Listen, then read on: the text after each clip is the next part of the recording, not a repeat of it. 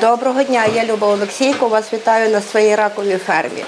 Е, Цей бізнес ми відкрили в 24-му році весною, е, дякуючи гранту Курс на незалежність. Прошу познайомитися з нашими вихованцями.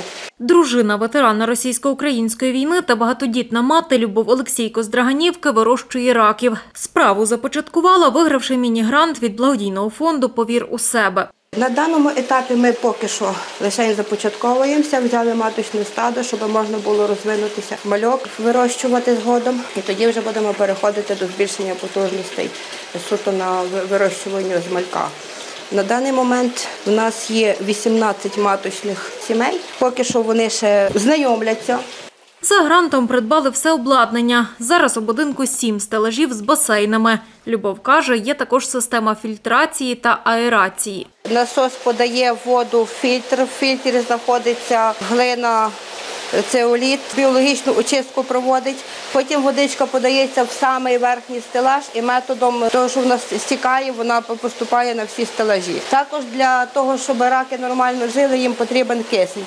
У нас є безперебійна установка, яка е, допомагає забезпечувати киснем на кожну поличку. Коли немає освітлення, вона працює суто на акумуляторі до 7 годин. Зимі додаємо, ставимо додатково нагрівачі. Е, Це такого плану. Але вони дуже багато світла їдять і економічно трохи не сильно вигідно. У штучній водоймі ракам важливо створити умови, наближені до природних, розповідає Любов. Труп ми нарізаємо в хатинки, рак мусить жити, мусить мати де ховатися. Бо він особливо вразливий тоді, коли е, він проходить процес е, леньки. Він дуже м'ягенький, а інші раки відчувають, що він ослаблений. Коли він не сховається від них, вони можуть його пошкодити. Щоб були більш-менш природні умови, то протягом сезону сушимо е, гілочки, листки, збудовувати даємо. Поставив гілку, за тиждень часу лишається само дерево, все згризають якимось чином. Годуються вони зранку чуть-чуть е, або рослинним кормом е, гранульованим, який ми також, до речі, виробляємо самостійно, або опариш, е, хрубачки. Ну, вони багато різного такого всього їдять. Навіть рибу, оцю, що плотва якась, що її просто перемалюється, додається зерном і робиться е, корм для них. Е, Дуже люблять вони все, що пахне часником. Процес вирощування раків довготривалий, каже жінка. З малька до дорослого вони виростають за півроку. Ікру ж самка може відкладати кожних три місяці. Під час цього її потрібно пересаджувати в окремий басейн. Згодом мальок теж потрібно перемістити в окрему водойму та підгодовувати. Це маленька дівчинка, їй приблизно 8 місяців. Вона вже більш-менш дожила до статевого дозрівання. Зараз Любов Олексійко бачить два шляхи розвитку її бізнесу. На оцих потужностях, що є, це можна мати 70 кг раку в рік. Якщо орієнтуватися суто для малька вирощування, то цієї потужності цілком вистачає, оскільки мальок буде час від часу йти на продаж. Е, Для себе ми бачимо розвиток і в виробництві малька, і в виробництві е, додаткових потужностей для вирощування, оскільки е, м'ясо рака цінне, е, багате протеїнами. Мої найголовніші помічники.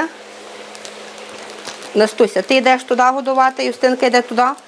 Займатися власною справою жінкою мотивували діти. Їх у Любові п'ятеро, а також відсутність роботи, яку б могла поєднувати з материнством. Зараз, каже жінка, налагоджує роботу власного підприємства та готова допомагати іншим ветеранам започатковувати свою справу. Вже не боялися наважитися і е, розуміли, що після того, коли закінчується служба в війську, це не кінець світу, це можна знайти будь-яку справу, що кому подобається. А ми, звичайно, можемо допомогти скласти на будь-який грант е, заявку. Любов Олексійко каже, за грантом курс на незалежність отримала майже 20 тисяч євро. Паралельно то, що кошти дали, паралельно то, що є навчання, є допомога на кожному етапі. З особливостей є те, що ти мусиш віддати десяту частину свого прибутку, е, цей, е, від суми гранту ти мусиш віддати на громаду. Ну там вони підбирають, яка є громада бідніша в Україні, і ми якось українці мусимо одне одного підтримувати, щоб все було в нас всіх добре.